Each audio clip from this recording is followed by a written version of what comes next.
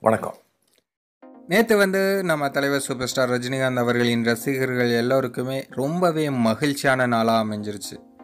Sun pictures வந்து தலைவரின் ரசிகர்களை திக்கு முக்காட வச்சுட்டாங்க அப்படின்னு தான் சொல்லணும். ஏன்னா காலையில் பதினோரு மணிக்கு அண்ணாத்த படத்தோட ஃபர்ஸ்ட் லுக்கு அடுத்தது ஆறு மணிக்கு அண்ணாத்த படத்தோட மோஷன் போஸ்டர் அடுத்தது ஏழு மணிக்கு அண்ணாத்த படத்தின் செகண்ட் லுக் அப்படின்னு வரிசையாக தலைவரின் ரசிகர்களுக்கு செம்ம ட்ரீட் கொடுத்துட்டே இருந்தாங்க நம்ம சன் பிக்சர்ஸ் தலைவரின் ரசிகர்களும் நேற்று ஃபுல்லாகவே பார்த்தீங்கன்னா சோஷியல் மீடியாவில் தான் இருந்திருப்பாங்க. நிறைய விஷயங்கள் வந்து வந்துக்கிட்டே இருந்தது. நம்மளால் அப்டேட் பண்ண முடியாத அளவுக்கு விஷயங்கள் வந்து கிடச்சிக்கிட்டே இருந்தது. வழக்கமாக நம்ம தலைவர் சம்மந்தப்பட்ட ஏதாவது ஒரு விஷயங்கள் வரும்போது தலைவரை பிடிக்காத ஹேட்டர்ஸ் என்ன செய்வாங்க அப்படின்னா அவங்க தரப்பில் அவங்க ஒரு விஷயத்த பகிர்ந்துக்குவாங்க இல்லையா? ஸோ அந்த மாதிரி ஒரு விஷயந்தான் தலைவரின் புகைப்படம் ஒன்று மோஷன் போஸ்டர்லையும் செகண்ட் லுக்காகவும் வெளியாச்சு. புல்லட் ஓட்டுற மாதிரியும் அதில் வந்து ஹெல்மெட் போட்டிருக்க மாதிரியும் தலைவர் புகைப்படம் இருந்தது.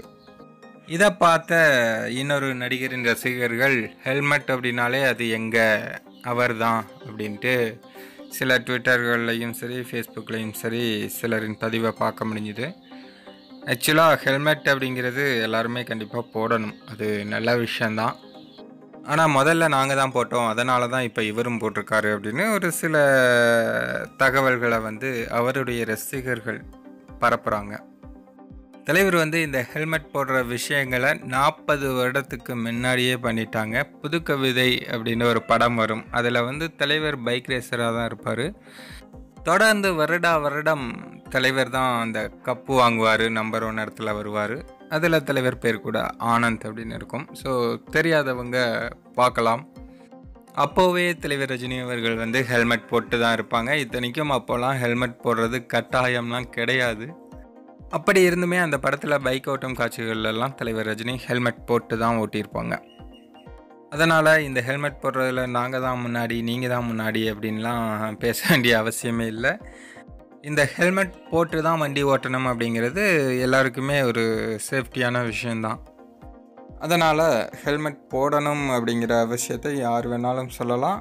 இதுக்கு நாங்கள் தான் முதல்ல சொன்னோம் நீங்கள் தான் முதல்ல சொன்னோம் அப்படிங்கிற விஷயமே இங்கே தேவையில்லாதது அப்படின்னு நினைக்கிறேன். இது எப்படியோ நம்ம தலைவரை வந்து நேற்று பார்த்தாச்சு. இன்றைக்கி வரையும் அந்த ஃபீல் கொஞ்சம் கூட இறங்கல. அந்த அளவுக்கு தலைவர் வந்து வெறித்தனமாக விளையாண்டுருக்கார் இந்த படத்தில். ஸோ இந்த படத்துக்காக ரொம்பவே ஆவலாக வெயிட் பண்ணிகிட்ருக்கோம் பார்ப்போம் தீபாவளிக்கு. இந்த முறை தலைவர் தீபாவளி தான். வாழ்க தமிழக மக்கள் வளர்க தமிழ்நாடு.